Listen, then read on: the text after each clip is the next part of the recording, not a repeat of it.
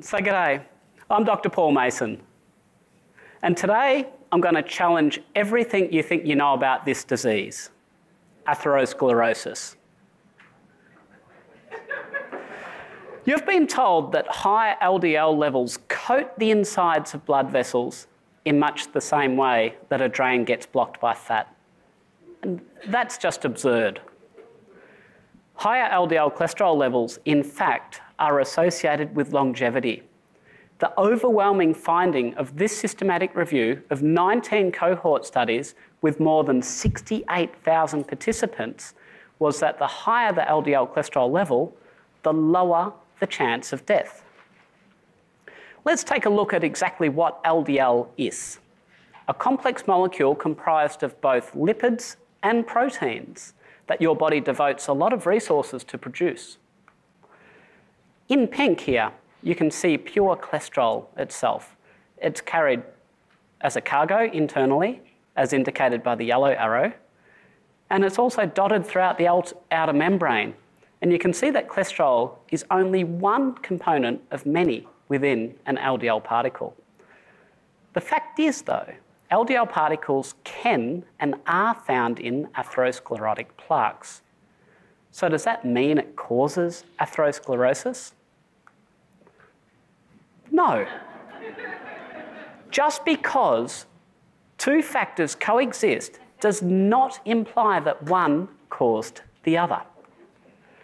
The fact is, as shown by this paper, 75% of patients hospitalised for heart attack do not have high LDL levels.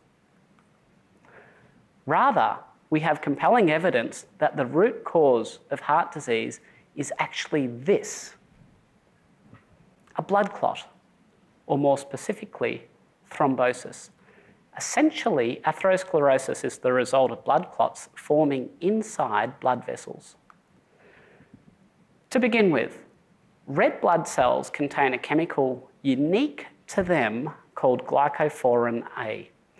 This chemical is not found in any other tissue in the human body.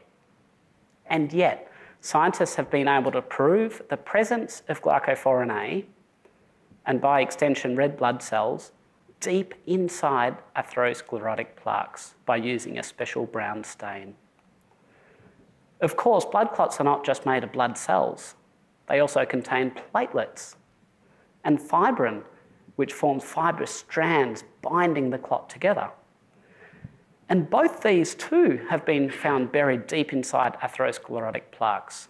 The lipid hypothesis model of heart disease cannot explain this at all.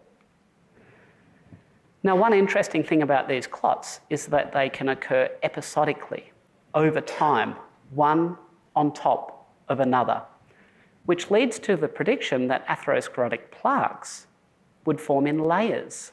And indeed, this is exactly what we find. Here's an example of a single layer plaque containing a lipid-rich core covered by a fibrous tissue connective cap. And here is an example of a plaque with two distinct layers, separate fibrous caps being clearly visible. Hang on, you might say. What about the cholesterol-like crystals that we see in plaques? Where do they come from? Well, it doesn't come from LDL. So first of all, understand that the LDL in atherosclerosis is contained within foam cells.